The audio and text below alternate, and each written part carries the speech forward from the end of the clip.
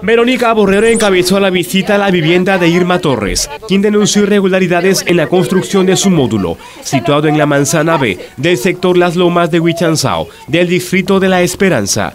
Entre ellas, esta pared sin base. Es vergonzoso que hagan una pared, una pared sin columnas pues, y que pretendan dar la apariencia de que sí tiene una, una base, perdón, cuando no la tiene, ¿no?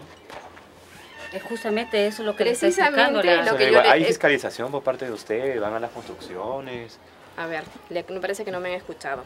Nosotros encontramos este problema después del reclamo de la señora y venimos y verificamos que no hay una base. Pero usted de oficio han detectado déjeme terminar, Pero déjeme terminar. Precisamente la persona que estaba encargada de estos módulos ya no trabaja con nosotros, que era el señor, el maestro Ronald, como precisa la señora. Los representantes de la empresa constructora DSV de Daniel Salaberry reconocieron el error y se comprometieron en subsanarlo cuanto antes. La beneficiaria del programa Techo Propio se mostró un tanto incrédula módulo, al igual que otros, todavía está en proceso constructivo. ¿Qué significa? No le hemos entregado. ¿Se tienen que hacer las correcciones? Se va a hacer. La empresa es responsable y consciente de todas estas cosas. No vamos a permitir que por el mal trabajo de algunas personas que se contrató en alguna oportunidad, la empresa quede mal. Pero cuántas veces usted misma me ha hecho venir que en mi delante hablaba con el maestro Chávez.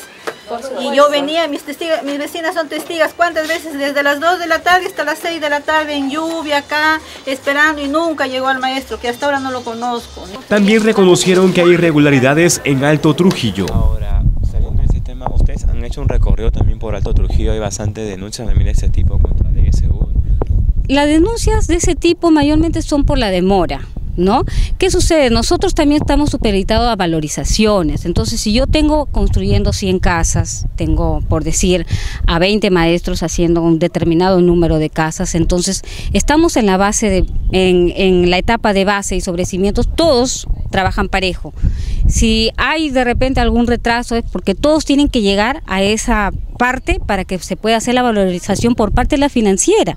Los fiscalizadores de dicha constructora también desmintieron que esta vivienda, en donde lo que aparenta ser la entrada principal, tiene una altura de casi un metro, presenta irregularidades, pues es la parte trasera del inmueble y fue diseñada a petición del propietario. Cosas que sí tiene culpa la empresa.